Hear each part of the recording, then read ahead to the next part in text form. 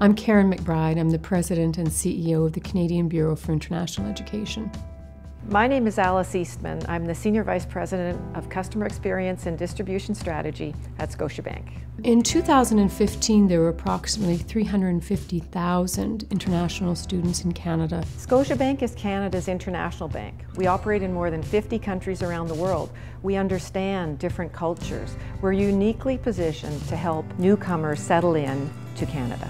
Canadian institutions do a wonderful job welcoming international students on their campuses, but we know it's only natural that during the holiday time, they would really love to be with family and with friends. C'est la première année que nous proposons cette initiative que nous avons créée dans le cadre de notre 50e anniversaire uh, à nos amis à la Banque Scotia. We recognize that our international students are a long way from home. We see this competition as an extension of our offerings to international students. Many institutions across the country actively promoted the contest, and there were more than 600 applications from 76 schools across the country.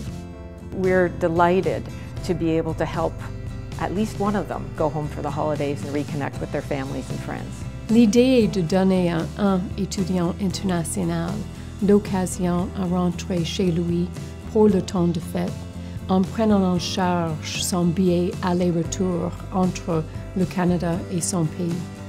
It is my pleasure to show you the winning video.